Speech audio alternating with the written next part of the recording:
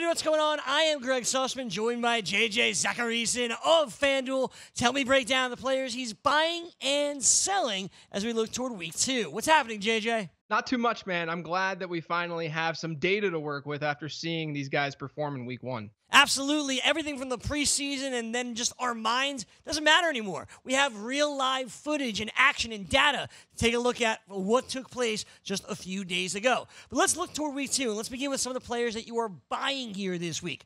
And we'll start with your favorite Pittsburgh Steelers who put up a donut this past week. But you're still buying their number one wide receiver, Juju Smith Schuster. I am. I mean, look, New England, we know they're they're known for taking away top options in opposing offenses. Last year, we saw Tyreek Hill in the AFC Championship only have one catch. Uh, we saw Keenan Allen in the playoffs only have two. DeAndre Hopkins had a comparable line as Juju did in week one last year. Davante Adams only had 40 yards against them last season. So I think Juju will be just fine. Uh, the Steelers, too, you know, that secondary didn't look very strong. So they could be almost just as pass heavy this year as they were last year, or at least close to it. Maybe that regression doesn't hit as hard. Uh, and that makes Juju a really easy buy candidate who could see a lot of volume this year. Juju Smith Schuster's not going to come off the field. You could tell he was frustrated, and Ben was frustrated with how the Patriots took him out of the game. That won't happen every week. Juju Smith Schuster certainly someone worth buying. Continuing on, let's get to the Rams, where it was Robert Woods doing his thing with 70 yards receiving, obviously. It was Cooper Kupp dominating the quantity with the amount of receptions that he had. And there was Brandin Cooks, who had two for less than 40. You're still buying Brandin Cooks. How come?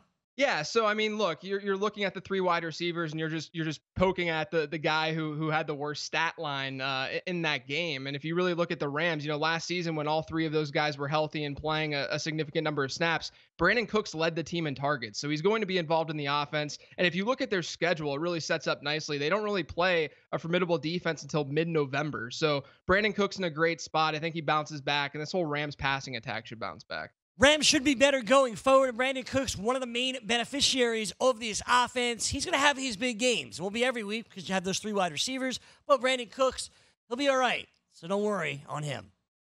Let's continue on, JJ, and let's get to Tampa Bay, where Mike Evans struggled opening week. It was the Chris Godwin show for the most part. But Evans was sick. It didn't seem right. You're still buying. He'll be all right, right? Yeah, I think he'll be fine. I mean, I think the, the main reason why this Buccaneers offense struggled was obviously Jameis Winston. Uh, but if you look at history, history and you look at, at what the data says, there's no correlation between interceptions thrown and plays run offensively, which means volume should still be there for Mike Evans in this offense. And and to be honest, in that game against San Francisco, Mike Evans still had 114 air yards, which is about a top 20 number across the league in week one. So that usage should only go up. Hopefully, Jameis uh, shows a little bit more consistency. But we know that this offense can be inconsistent with Jameis Winston, and it just so happens that one of those down games happened in Week One. Jameis Winston struggles and then puts up monstrous games, and it's that inconsistency, inconsistency that you talked about. Mike Evans, well, he was the one that was hurt the most by that inconsistency. He's going to be all right. He's one of the top wide receivers in this league, and I, yeah, I'm still confident in him.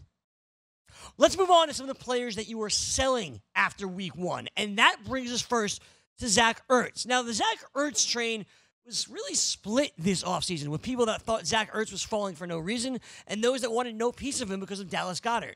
I don't know which camp you fell into, but now you're selling. How come? Yeah, so I mean, I've been selling Zach Ertz pretty much all offseason, so I was in that camp. Uh, but if you look at what happened in week one, he did have an 18% target share. There's nothing wrong with that. Zach Ertz is going to produce for you if you drafted him, if you throw him in your tight end spot. Um, but at the same time, we shouldn't expect what he did in 2018 to happen in 2019. I'm, I'm really expecting more 2017 numbers because if you look at what happened when Golden Tate entered the, the uh, uh, uh joined the the Eagles uh, last season, uh, Zach Ertz's target share dropped pretty significantly by about seven percent. And then this year you have D, you have DeSean Jackson there, you have a healthy Alshon Jeffery, you have Dallas Goedert an extra year in the league. So I just don't think volume is going to be Zach Ertz's friend, at least to the degree that we saw in 2018. Zach Ertz as the top tight end option in the league, probably not this season. So you're selling him at that number. Of course, given the state of tight end, he'll still be a good tight end, but maybe not giving you the value that you hoped for on draft day.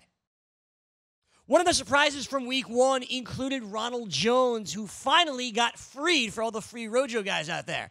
But you're not buying the impact long term. How come? Yeah, so I do think that he was the most impressive runner in that backfield in week one. And I, I, think that he'll have some sort of role moving forward. My main fear with Ronald Jones is that he's historically struggled in pass protection and he hasn't been that much of a receiver. Even his final uh, final collegiate season reception share was one of the lowest in the class when he was coming out. Uh, so I worry about that. And I worry that the Buccaneers are likely going to be in negative game scripts. And if that's the case, we might see Dare Ogunbowale as opposed to Ronald Jones. So, you know, there are Ronald Jones truthers out there. If there's one in your league, I would just kind of dangle and see if, if they want to, uh, you know, try to buy Ronald Jones off of you and just see what you could get. Dare Ogunbowale played the most snaps for the Tampa Bay Bucks, and given that negative game script that you mentioned, he could continue to be out there. Peyton Barber, the goal line back.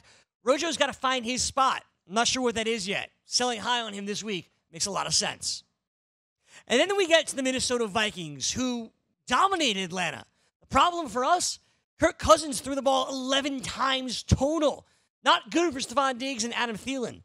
How nervous are you? Yeah, I mean, I'm pretty nervous. If you look at what happened when they changed coordinators last year and Kevin Stefanski stepped in, uh, their neutral script pass to rush to temp ratio dropped significantly, and as a result, we did see Adam Thielen specifically uh, get hurt by that by by that lack of volume. Uh, so I'm I'm worried. I think they want to be a run first team. The defense looks good. I think they'll be able to be a run first team. And I think that you know as a result of that, you're going to look at Stefon Diggs and Adam Thielen. They'll still be productive, but I think they might end up being more low end or mid wide receiver twos with a lot of inconsistency week to week. And that's why I think right now is the time to sell. Adam Thielen and Stefon Diggs were being drafted as borderline wide receiver ones. And I know you don't want to sell anybody low, but just given the uh, volume here, I don't think they're going to approach that value either. This is a team that, again, dominated Atlanta and threw the ball just 11 times. Sure, game script will go in their go in their way at some point, but that is a scary, scary thought. Maybe try selling them to people that are still buying Thielen and Diggs as wide receiver ones. That's going to do it for us here on the FanDuel Hurry Up. JJ, it's been a blast. Let's do it again soon. Sounds good, man. Thanks.